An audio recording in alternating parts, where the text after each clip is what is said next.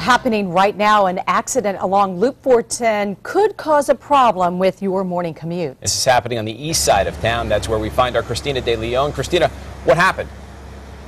Well, that's what uh, police officers are trying to figure out right now, actually. What we're finding out, though, is that the driver of this 18 wheeler lost control with the slick roads and just ended up jackknifing. Now, you can see the tow truck has actually pulled that 18 wheeler up. It was on the side of the hill. It was upright, but it was a jackknife, so to speak, and the tow truck is getting ready to tow it away. We're finding out more about the location of this. It's a little confusing, but if you're coming from the Kirby area, this is what you need to know. If you're coming from FM 78 and the Kirby area, and you're trying to take the WW White exit from 410 southbound, that the Y right there that has been shut down that's where we're talking about again if you're coming from the FM 78 area or you're coming from Kirby and you're trying to take the WW White exit or you're trying to hop onto 410 southbound that whole Y that area that you'd get onto the highway has been shut down while they tow off this 18 wheeler. We're told the driver of this 18 wheeler is not hurt.